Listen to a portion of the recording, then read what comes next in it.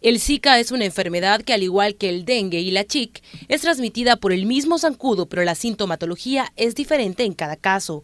Por eso, es importante que ante la alerta tome a consideración lo siguiente. Fiebre leve, conjuntivitis, dolores de cabeza y articulaciones, erupciones en la piel. Si está padeciendo de alguno de estos síntomas, lo mejor es que se acerque a un médico, pues las consecuencias podrían ser graves.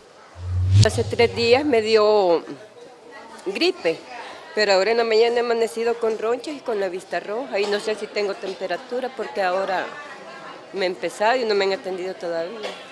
Como esta mujer, decenas de pacientes a diario están abarrotando los establecimientos de salud.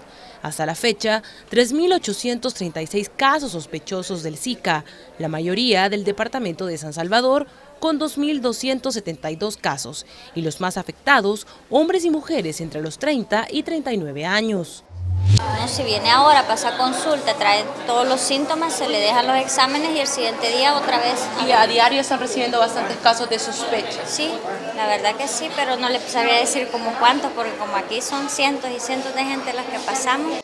47 son los municipios donde las autoridades han declarado alerta María, encendiendo sus alarmas sobre todo en las mujeres embarazadas, pues las consecuencias en el bebé podrían ser desde neurológicas, como la microcefalia, polineuropatía o el síndrome de Guillain-Barré.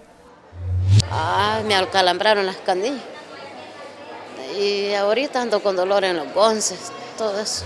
Y calentura y dolor de hueso. Y me han ardido los ojos.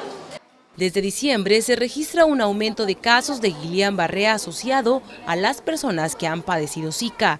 De ahí el llamado a la población a que se una a combatir el mosquito transmisor de estas enfermedades. Con imágenes de Adalberto Cruz, este es un informe de Alejandra Canales.